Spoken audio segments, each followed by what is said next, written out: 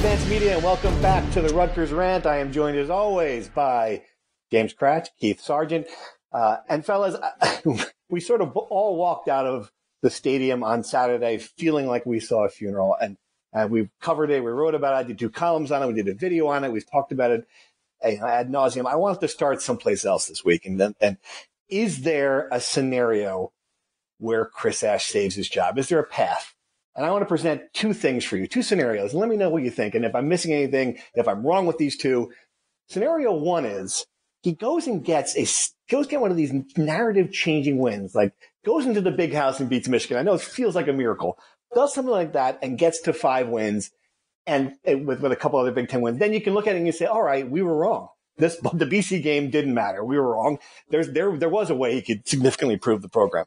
And number two, the other scenario is that doesn't happen, but because it's Rutgers, there is an institutional stubbornness that's there. And Pat Hobbs decides, you know what? I need a fifth year. Uh, this guy needs a fifth year. He, this is a hard, this is a hard job, hard place to win. And Robert Barchi, the outgoing president, he doesn't care. And there's just, and all of the people who are power brokers who have a say in this, you know, there's just not enough unity or there's different agendas and nothing happens. Those are the only two ways I think he can survive. Sarge, you've been here 20 years like I have. What am I missing? What do you see? Yeah, I'm going to be consistent to what I said, you know, at the beginning of the year where we argued about Boston College being the uh, biggest game of Ash's tenure. I thought it was big. I said it before the game. Uh, but I'm still I'm going to hold true to saying that October is going to be the, the thing that defines them. Uh, I'm assuming that they're going to lose to Michigan uh, this week and they'll be one and three going into October. But then you have Maryland at home, Indiana on the road, Minnesota homecoming, Liberty. Um, they probably need to sweep them. Um, to be honest with you, you know, in order to, to get the uh, you know bowl eligibility. Um, then you have Illinois, you know, in, in, in November. But um, anything short of three of, of four um, certainly is going to be bad news. But I really think that you know the Maryland and Indiana games right off the bat are going to be huge. Um, I'm going to you know stick to that. I, I, I, think that you know if, if you know minimum five wins, uh, we'll, we'll, we'll, we'll uh, uh, there will be a discussion, and then you know six wins. Uh, I still think that there's a path I think that it's a very, very small percentage, but I still think that there's a path, and I think October is going to define it. Kratch, do you agree with that? I mean, you know, it, and the way Sarge left the door open, though, if you have to win three or four of those, then if you lose the first two, I mean, what, what do you think? I, I think that Indiana, to me, is is not guaranteed. I made that joke when we did the win loss, you know, start of the season about, you know, the day after the Maryland game, because if they lose to Maryland, assuming they lose to Michigan this weekend, they are one in four, and they will have lost to Maryland and BC, two very winnable games.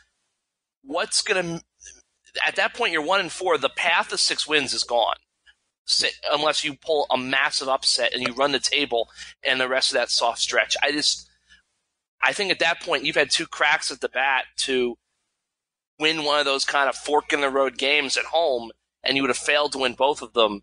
And at that point, I mean, you know, what's what's the worth of this continuing down this stretch? I mean, if they lose to Maryland and fall to one and four, it's over. They're not going to a bowl game. I don't see how. I, I think it's like election night where it's like it's over. Like right, he lost Pennsylvania. It. Yeah, we're calling CNN is like CNN's calling it. The AP's yeah. calling it. It's over. Like you're not going there. The path to save his job, my opinion, is to go to Michigan this week and be competitive. By competitive, I mean it's a, it's a one score game, maybe a 10 point game at some point in the second half. Then he needs to beat Maryland, Indiana, Minnesota, Liberty, and Illinois. Sweep them, get to six wins. And then honestly, I think he'd probably be, at that point, he'd be wise to upset Michigan State or Penn State or Ohio State somehow in November to kind of get to that seventh win. I mean, I think that would really kind of seal it. But that's the path. And I think if you lose to Maryland, the path is busted. And at that point, you know, I I think personally, I understand what Sarge is saying, but if they lose to Maryland, I don't know if he's guaranteed to be the coach against Indiana. I mean, you you said seven wins. I have a better chance of becoming a Chippendale model. no, I, I, yes, exactly. I mean, they're not going to win seven games, but even at six and six, I mean, just the, the the vibe I get from you know boosters and donors and the fan base, like even if they yeah. somehow pulled six and six out, is that really going to win over all the hearts and minds that they've lost? It won't, but it has to be so. enough at a place like Rutgers. I guess. I guess yes. I come back. I throw this back at you, sorry, because so what happens if they do go into Michigan like I fully expect they will and get destroyed, and it's a forty-one nothing, and you come back into Maryland and you lose that game. I mean, it's kind of the, the mood here, and that was the one thing I, that I keep on coming back to. It's like just the negativity, the, the, the resignation. I mean, people are done with them. I, I, just don't know what happens if you in that scenario if you come back with those two losses. What I mean, uh, do you really think that, that everyone's going to say, you know, Pat Hobbs is going to say, no, he's my guy. We're, we're going to Indiana. We're going to we're going to come back home for homecoming against Minnesota. I mean, do you think that's going to happen? I think we're talking about semantics here. I think, um, you know, Kratch thinks it'll be after Maryland. I think I still think it would be after Indiana. I think then you know you're at the midway point of the season. Um, assuming that they lose Michigan, Maryland, Indiana in your scenario, um, then they would be one and five, and then you're at the midway point. You're right before homecoming. Um, you have to remember with homecoming.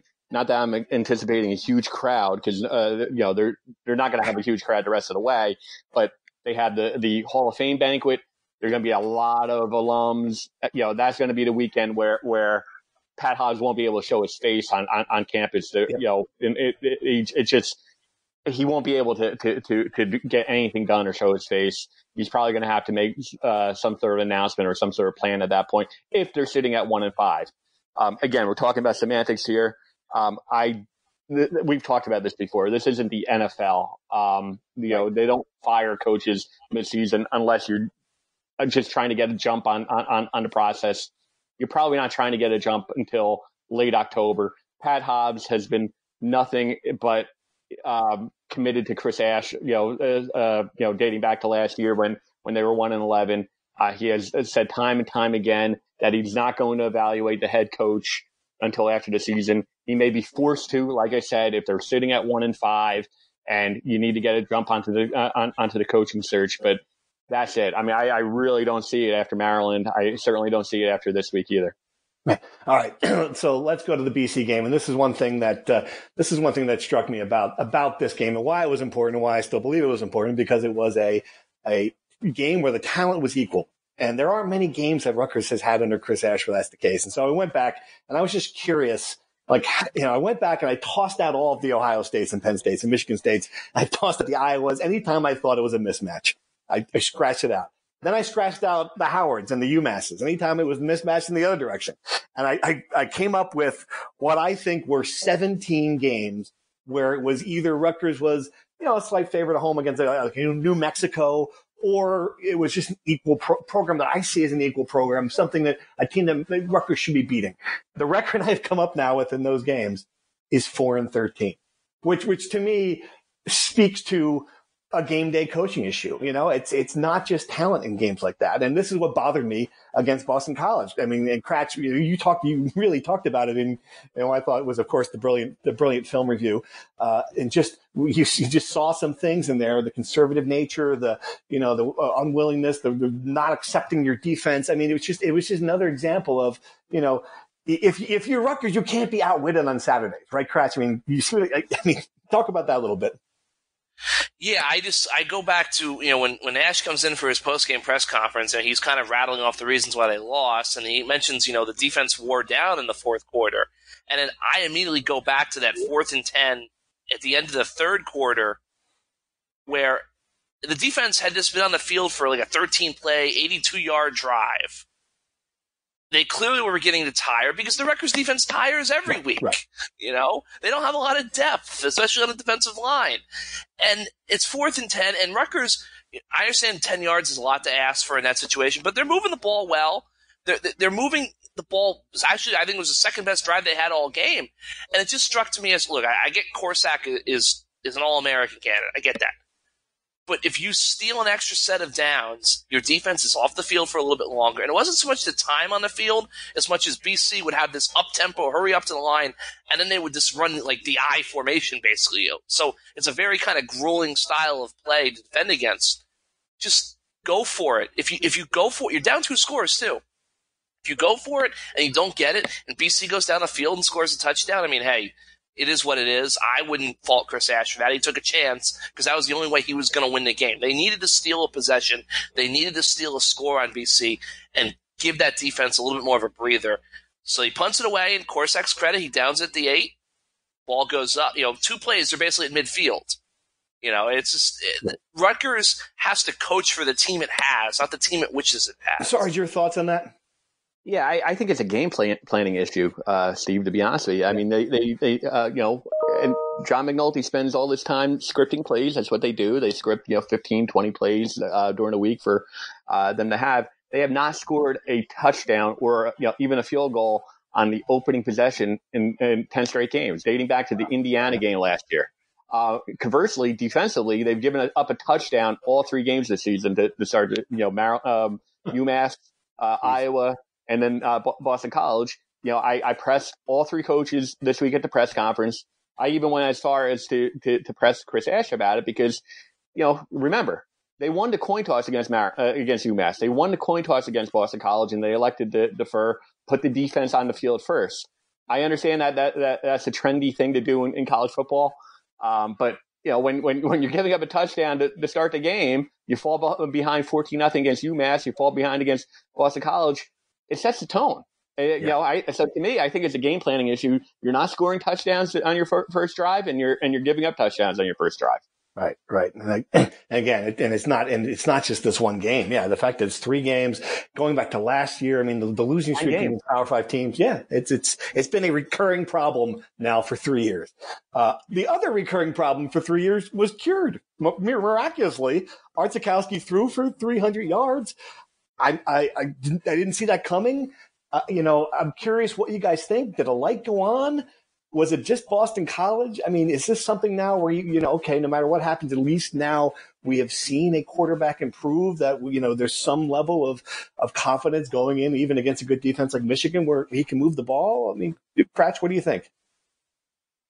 I, I, thought it was just a really well designed game plan. I know fans were down on John McNulty for the game plan, not a lot of deep shots, but I thought he put Art in position to succeed. And I think you kind of saw, we saw some glimpses last year of Art when they would run a hurry up or they would kind of go quick. Art would kind of play well, you know, catch the ball, snap the ball, catch the ball, you know, that sort of stuff. I think we saw that. I, I think it was a bounce back performance from Art. Obviously, he looked a lot more comfortable than he did right. last year. Um, and I think at this point, one and two, likely going to be one and three. I know Art's going to start at the big house. I don't know what McLane Carter's status is going forward, but at this point, what's the value in playing a graduate senior not, who's not yeah. part of your program right. for a couple of weeks? It's got to be Art from here on out. And if if Art falters or gets injured, honestly, it should be Langan and down the line to Cole Snyder. All right, let's let's dive into true or false because we've got a lot of good ones this week. Uh, and and uh, here's the first one that that's really the central question: uh, True or false? Chris Ash makes it to the season finale. Kratch, go first. False. Sarge? Um, for a minute, I thought you dropped dead. Are you still there? yeah, no, I'm going to say false, but I get back to this because I, I haven't asked. We will. All right. True or false? If Ash fails, his conservative nature will be the biggest reason why. True or false, Kratch? False. Sarge? False. True or false? If Ash fails, his inability to build the defense he promised will be the biggest reason why. Kratch? Uh, false. Sarge? False. If Ash fails, his inability to recruit you moron will be the biggest reason why. True or false, Kratch? True. Sarge. True. All right, as I was making this list, I forgot that one. All right, true or false? Art is going to Art is going to build on his success against Boston College and move the ball against a good Michigan defense. Kratch, true or false? True to okay. extent. Sarge. True. Rutgers, despite having just three sacks, will find a pass rush against a mediocre Michigan offensive line. Kratch, true or false? False. Sarge? False. The significant uptick in penalties is a coaching problem. Kratch, true or false? True. Sarge? True. True or false? The Big House is the best stadium in the Big Ten. Kratch. True or false? I'm going to defer because I have not been fair, there yet. Sarge. You've been to many of them. Yep. Um, false. False. Wow, that's good one. All right. True or false? Michigan is going to have a coaching search too. Kratch. False. false. All right, and true, true or false? Finally, the whole Michigan Rutgers satellite camp battle is a regrettable chapter in our careers that we'd all like to have back. True or false? Scratch. You weren't here for it, so I, I give you a pass. Sorry, true or false? Uh, I, will say true. And, and uh, do you remember that, oh that when God. they were at Catholic and, oh. and, and these uh, uh, people from the, that secret society uh, from Rutgers vandalized the field? Oh, I, I, covered that. I, I, probably wrote like four stories on it because it was a pretty big deal at the time. Oh, we thought that it was like Ash was storming in. He was challenging Jim Harbaugh. This was a great. This was a great thing. It's sort of like it's sort of like the draft day column that that Daniel Jones was the wrong pick. It's one I'm going to look back on and go like to have that back. Yeah. So that that was just a funny. It's funny to think about. It's funny to think about uh, that. In hindsight, seems like uh, the least of their problems. All right, let's go through this. You wanted to come back to. Sarge, you mentioned you wanted to come back to why you thought. Um, you know that why you put an asterisk on that question about uh, making to the season finale. Yeah, I mean, I think again, we'll we'll go game by game. I guess um, I still think that he'll make it to at least uh, the midway point of the season. And if he was to be let go, I think that uh, there's a strong likelihood that uh, Pat Hobbs will allow Chris Ash, if he wants ah, to, right, coach right. out the rest of the season. Because uh, that's generally the way it, it, it, goes. You give him that opportunity. You made the announcement anyway. You're making the change. You're, you're, you're, you know, the coaching search has begun, but you get you afford Chris Ash uh, the opportunity to uh, coach out the rest of the season. If he splits Maryland, Indiana too, is that another? Is that another way? Kratch, what do you think? Beats beats Maryland, then loses to Indiana. Is he coaching Minnesota? That's a great question. To me, the reason why I said tr- false was this: is that if they lose to Maryland uh, on top of losing to Michigan, and they're one in four, I just we go back to we, we discussed it like it's homecoming. You know, you have four more home games left.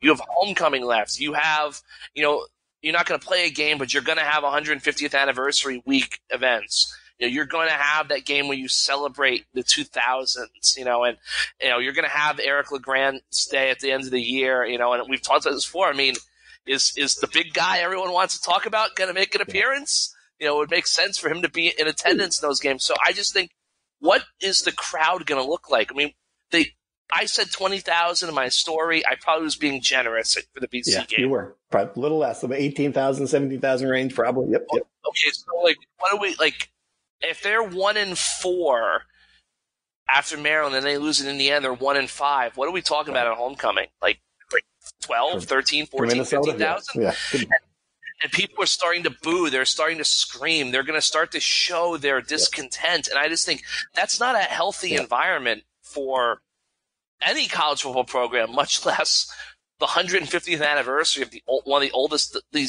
oldest program in the country with homecoming coming up with these big events coming up. And I just think like I know Sarge said you know like David Beaty at Kansas he finished the year, but like I, I in this situation, just the way I read the fan base, I don't think that would be a healthy situation. So I think one of two things has to happen. They've got to beat Maryland, and I think I think if I think if if he beats Maryland I do think he probably gets most of the rest of the season, if not the whole season. He, has got to beat Maryland, and if he doesn't beat Maryland at that point, I, I just don't know if it's fair for all parties involved if you keep this going. Sarge? I think it's a dangerous thing. If I, I just know for a fact that Pat Hobbs is not going to make the decision based on what the fan base uh, they've mm-hmm. given up. Uh, the only thing that's going to change it is winning. Um, at that point, I don't think he gives. I don't think he cares whether or not you know, that, that he's going to, you know, hang um, Chris Ash and, and, and embarrass him and, and, and fire him and tell him, you know, you know, fire him on the tarmac, so to speak. um, and, and, you know, basically say that you're not allowed to coach the rest of the season based on, because the fans don't want to, uh, to see him. You know, that's not the way Pat Hobbs is operating, nor should he operate that way. And we've talked about this before. I think once he makes the announcement, that's all the fans really care about. I don't think you know they're not going to, to come out and, and, and, and wear paper bags and boom. You know, once the announcement is made, all they want is the plan. All they want is some hope. So you know, I, I don't think uh, again to re- reiterate, he's not making the decision based on the fans. You know, don't want to see his face. You know, they've already given up hope. The only thing that's going to change that is winning, and the only thing that's going to change that is a plan. Yeah. Uh, that's what they want to hear. But they're he, he's not you know firing him on the on the on the tarmac like Willie Randolph. Right. No, and I wasn't. I didn't mean you know he should kowtow to the fans. I just meant I think overall it just it becomes a really really tough situation for everyone involved. You know, and it, and it's the, you know that Jeremy Foley quote that, that, that Steve had in his column the other day. I mean, I just think at some point if you know what you're doing, you know, and, and maybe it gets done in some you know different way as you mentioned. It's just like why even kind of nurse this whole thing along if, if, if everyone knows where it's going right. at the end. Yeah. That's just my take. I, Sarge, you, are probably dead on, but you know, All right, let's dive into the. Uh, first, I want to do something new. We usually do mean tweets here. I want to do nice tweets. I got a nice tweet this week, guys. This is so exciting. So, one thing, a great thing about Twitter is you get to interact with like people, people who have higher profile than you. Like, for example, like Clay Travis, you know, in a bad way. So, Dick, Dick Vitale, Dickie V, tweeted out a photo of him and Bruce Springsteen together for Bruce's 70th birthday. And I, tw- and I, and I tweeted back, you know, so much Jersey. It's such a great thing. The two of them hugging these guys uh, together. And Dickie V tweeted back at me. He said, Steve, Jersey baby is special. Tell Rutgers in football and hoops, keep the scholastic superstars home. So there you go. I'm going to send that message. It's funny. There's one, the funny, the best reply to this was uh, Iowa Comma's Mike Halas, who replied to me, uh, which of those two publicly uttered the word baby more? That's a great question. Which one do you think between Dick Vitale and Bruce Springsteen has said the word baby more often in a public setting? Wow.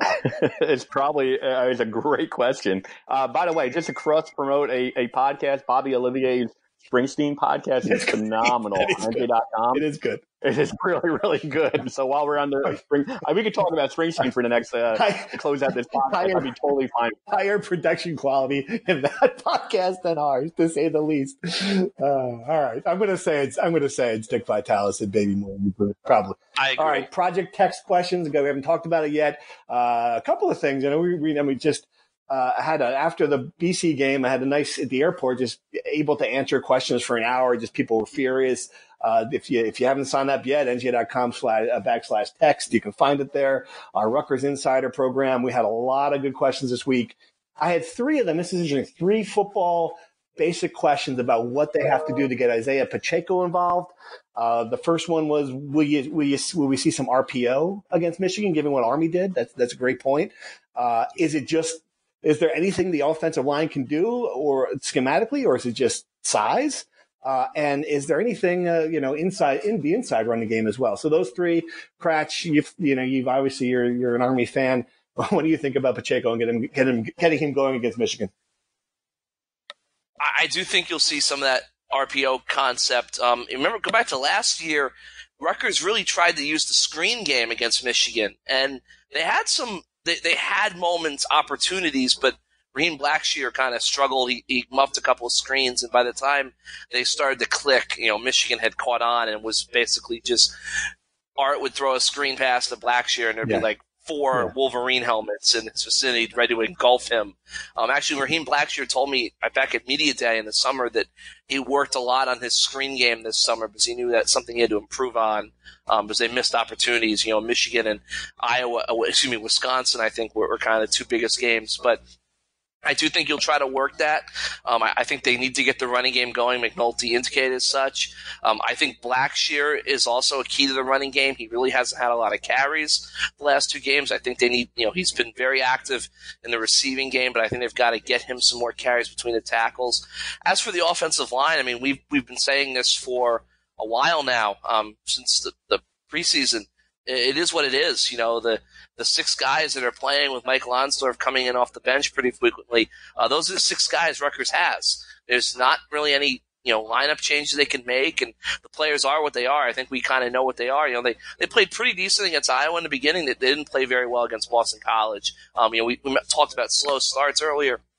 First play of the game, coming off a of bye week, your offensive line can't get knocked backwards and, and your best running back get tackled right, for a two yard right. loss. Uh, that that can't happen. So, and that's what happened with, with BC the other day. So I, I think they've got to get the running game going. I think it's Pacheco. I think it's just kind of hit going with it. They got to get a push up front, get a little more black Blackshear. But I do think you'll see some of that. All right, next question. Uh, from a good fan of the podcast, fan on Twitter, Kevin Fine, we love the guy. Uh, I think we've come to the point where we resign ourselves that the Ash era is coming to its conclusion. With that said, is there enough talent there to mature and develop so that they can be vaguely competitive in two years? And this is kind of a fascinating question, Sarge, because we we've gone back and forth on this. We we said the cupboard was bare when Ash got here. I was looking back on those rosters. There, there, were some players who ended up playing on Sundays on the on that on that initial team. Uh, Teray, you know, I mean, they, they, it wasn't completely uh, completely gone. Do you think now the net, if if it is over for Chris Ash, that this team he is giving a better team to the next guy than Kyle Flood gave him? I do. I do. Um, I just if you go on on the recruiting uh, rankings, and you you you touched on it they've out recruited just based on the rankings. Yeah. Boston College, um, and is, they were on par with Iowa. Now I get, and this is a you know you know an insider secret um, that you know these recruiting um, analysts they sometimes cook them up a little bit. You know, especially if they have a good relationship with with with, with a certain school. And you know, as far as that, you know, I know it, it seems like they, they, they, there's been some cooking, you know, in, in, in the plus. Are you saying these things aren't on the up and up, Sarge? Is that what you're trying to tell me? That's exactly what I'm saying. I'm saying that there, there's hmm. better recruiting coverage for Rutgers than there is for Boston College. Yeah. Is what I'm right. saying. Um, so that, that, that tends to, to, to, be the case, but there is some talent, uh, just based on, I always look at, uh, we've talked about this before, but I, I, always look at, well, who else were they offered by rather than the recruiting ranking? You know, if, if these, you know, guys have, you know, you know, 12, you know, 15 offers and they're legit, then, then I, I say, okay, that, that, that's a kid that, that, you know, seems to have some talent. They have enough of those guys now where you say, uh, see that and also it's the culture. The culture is, is just better. And I know fans are, you know, have a tough time defining that, but I'll, I'll say this. I mean, you know, four or five years ago, uh, there, there, you know, parents uh, would talk to me. I would routinely get it, like the concern over, you know, players have, you know, having weapons in the, you know, in, in, in the locker room. Chris Ash had a sign in, in his team room, no weapons. I mean, that, that was based on the culture from the Kyle Flood era. They have better, they just have better kids. They, you know, they, and, and it, presumably they have uh, more talent. Okay. Uh, next question, and we've got. I mean, look, we got we got about fifteen questions about what's going to happen here. Um, we talked about it a lot, whether or not. In, let's flip it. Is there an advantage to keeping Chris Ash as our head coach until the season ends? Um, does Hobbs have the backing to pull the trigger midseason? There's just so many. What what? this is the one I'll get to. Uh, Crash, maybe you can address. Is there is there a tipping point when it comes to recruiting? Uh, as well? Or do you want to take this? this is, you, you get so many, you know, we talk about whether or not signing day and, keeping a class together matters for, you know, if you fire a coach midseason, will that help recruiting? I, I don't know. Get, what, what, do you think about all that stuff, Sarge? I think uh, aside from recruiting, I think it helps from in the coaching search because you know coaches want to see an AD who's who who has faith and is committed to a coach and just doesn't fire you after after three years. And that's clearly Pat Hobbs didn't do that after year three with Chris Ash, who was still in the midst of NCAA sanctions, who, who inherited a mess. He, he he stuck with them, and by not firing him midway through the season, or you know, if you do do at that point, have a plan, announce a plan, uh, give Chris Ash the the the uh, you know luxury of, of coaching out the rest of the season with his team with the players he recruited that's that's a, a sign of good faith to the next coach that you have an AD who gets it, who's who's going to stay committed. I think from that standpoint, um, I, I, I, think it's it's good for the for the coaching search. Yeah, we got so and and Kratch, I'll let you address that as well. But we also have, I mean, we must have gotten 53 questions on who the next coach is going to be. We don't know. the other coach is still here. It's kind of uncomfortable, but someone wants to know if, if they if they think Butch Jones or Lane Kiffin as potential coaches. I think there's a I think there's a laundry list of reason why those two guys would not be on the list. Kratch, what do you think? I I know Butch Jones was a grad assistant at Rutgers in the early '90s. I, I just I don't get why the message boards are fascinated with him. Uh, he, he had some success at Central Michigan and Cincinnati. That's great. That's that's success in the MAC. That's success in like the end days of the Big East. Uh, he did win nine games at Tennessee, but at the same time, that was a real mess at Tennessee.